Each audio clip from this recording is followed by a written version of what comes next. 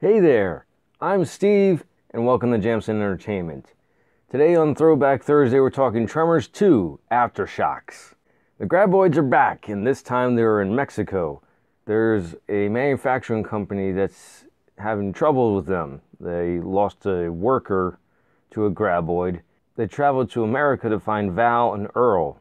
I'm not sure why Kevin Bacon didn't make it into this one. Um, in researching how many Tremor movies there are, it looks like there's six or going to be six, and Kevin Bacon's back in one of them. I need to get my hands on on the fifth one. I definitely know there's a fifth one.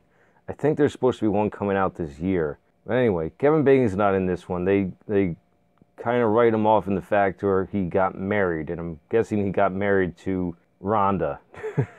so it's up to Earl.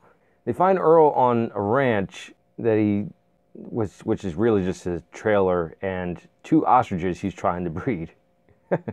a new character is Grady, who's supposed to be like a Val stand-in. Not a bad stand-in.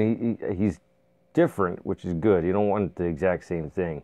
Not the brightest bulb, but he, he's also not the dumbest. He's more over anxious than he is dumb which leads to dumb decisions, but he does have good ideas.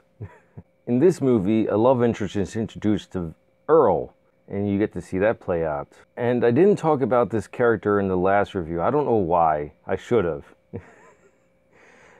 it's Burt, and he becomes the focus of the movies after this one. He gets called in. He's hit a low point in his life. His wife played by Reba McEntire in the last movie, left him because of the fall of the Soviet Union. okay, let me give you some backstory on Burt. Burt is a gun nut. He's the stereotypical right wing, the government is out to get us, prep for doomsday gun nut. but he's done so in a respectful manner. He's not an idiot. And they just don't spew fake gun knowledge. It's all done respectfully. I'm grateful that they're respectful of any views they choose to show in these movies, especially if they're going to make fun of them. So Burt is even crazier in this one, but they don't bring him into about 30 minutes into the movie. Before that, Earl and Grady are down in Mexico. They have a new way of going after the graboids the movies get goofier too. I'm not going to tell you how they go after the graboids. You have to watch the movie because it's quite hilarious and quite ingenious. Now, the one issue I have with this movie is they introduce a new mystery about the graboids halfway through the movie. That I don't understand that creative decision. And they not only do they introduce that mystery halfway through the movie, but they introduce that mystery after Burt arrives.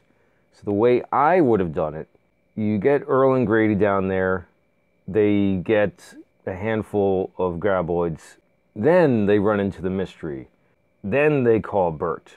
Eh, it just would have flowed better as a story, it would have worked better too. I think they could have made Burt crazier.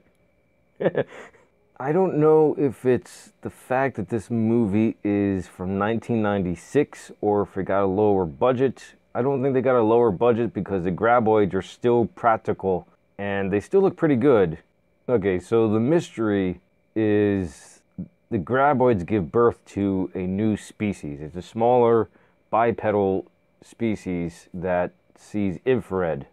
They they don't travel through the ground and listen for noise and vibrations. Where was I going with this? And because they use infrared, they eat everything obviously with a heat signature, which before you find out about that, it makes them look extremely intelligent because they take out a truck that was on their way to Earl and Grady in the field because part of the contract to go down and hunt these graboids, they were given $50,000 yeah, fifty thousand dollars a graboid that was killed, but they would be offered hundred thousand dollars if they captured one alive. Earl and Grady capture one alive, and they call it in a guy with a truck that has a crane on it so they can haul it away. Well, that's when they find out about these new creatures. they don't give it a name. Earl is the closest one that names them and just calls them what's its or thingamabobs, you know, nonsense words like Jamsin. so because they go after heat signatures, they destroy that truck. There's a radio station that's nearby that Earl and Grady were going to use to tell people what's going on. That's destroyed because that gives off some kind of a heat signature. And so it looks like they're extremely intelligent. But then there's just one line that Grady says, You mean they're so smart because they're so stupid?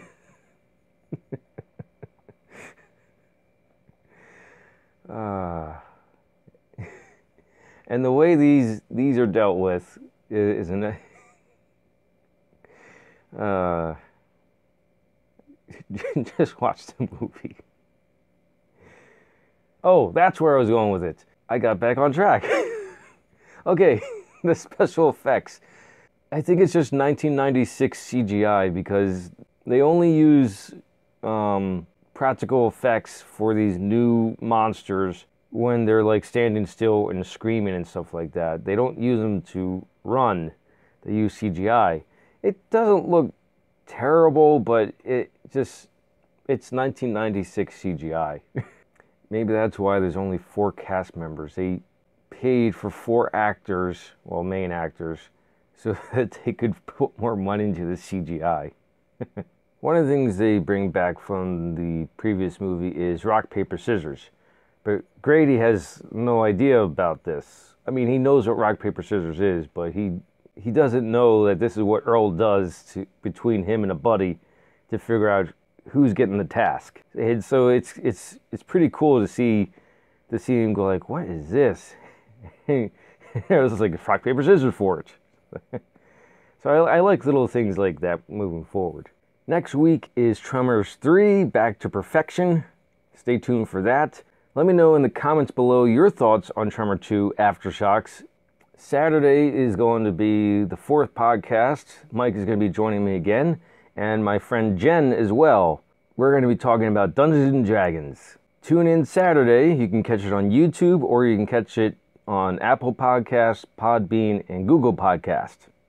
If you like what you saw, like it. If you think other people will like it, share it. If you really liked it, hit the subscribe button. Thank you for watching and live your imagination.